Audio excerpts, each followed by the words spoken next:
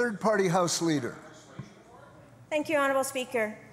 In, in, response to my question yesterday, the Minister for Children and Family Development said she needed to work with Ottawa to ensure there was funding in place for all Indigenous people and that kids would benefit from it. I think Ottawa is on board.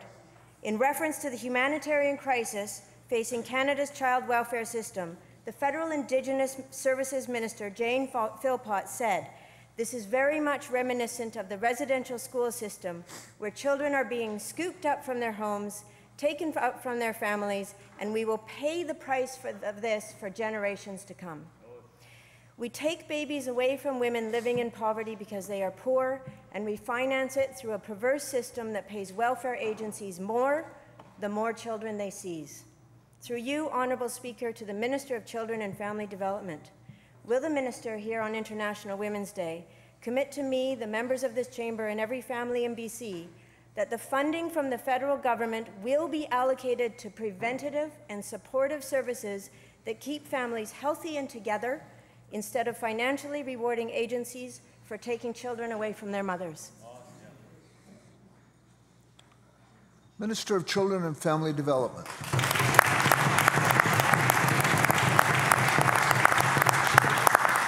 Thank you, Mr. Speaker, and I thank the member for the question. Uh, I too was at the uh, emergency meeting that was called by the federal government back in, in January, where we met to talk about the issues, that the very, the issues that are in crisis across the entire country in, in Canada, that the fact that there is overrepresentation of Indigenous children right across the country and, and here in BC as well. And we need to do better. We need to change that trajectory.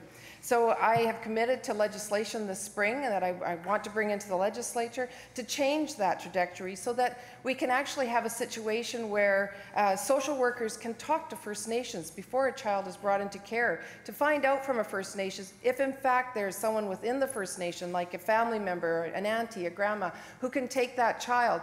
The way our act reads right now, we can't do that and we need to change that act. And I'm looking forward to bringing that legislation into this House and having every member of the House support that legislation so we can move forward to change the path of Indigenous children and their families on how child welfare is done in this province.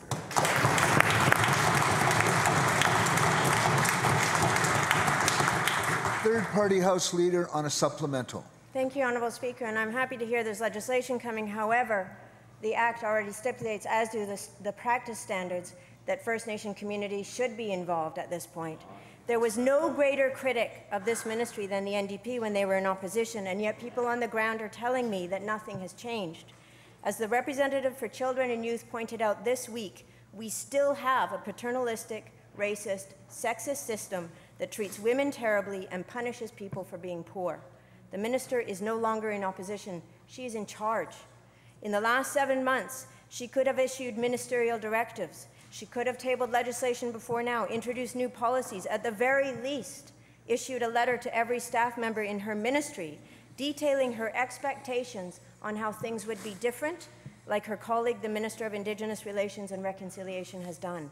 Through you, Honourable Speaker, will the Minister commit to doing all of the above, in addition to scrutinizing every apprehension that happens in this province to ensure that the Act as it stands right now and the practice standards are being followed in each and every case.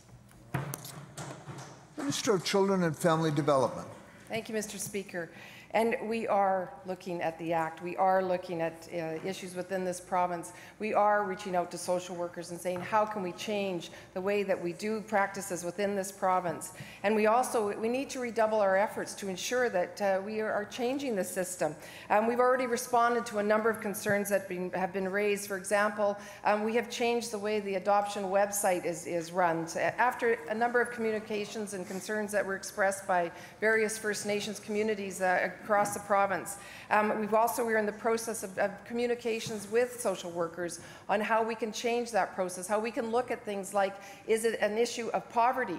And I think our government has, has done due diligence in this factor by bringing in a housing, uh, an extensive housing plan to ensure that poverty isn't an issue because it can't be an issue when you're taking a child into care. You have to look at other issues to make sure that that, that is not why a child is being brought into care. We are working hard with our social workers and social workers workers are committed to doing the job that needs to be done because the bottom line, Mr. Speaker, the bottom line is everybody wants the well-being and safety of children to be put first in this province, and that's what social workers are doing.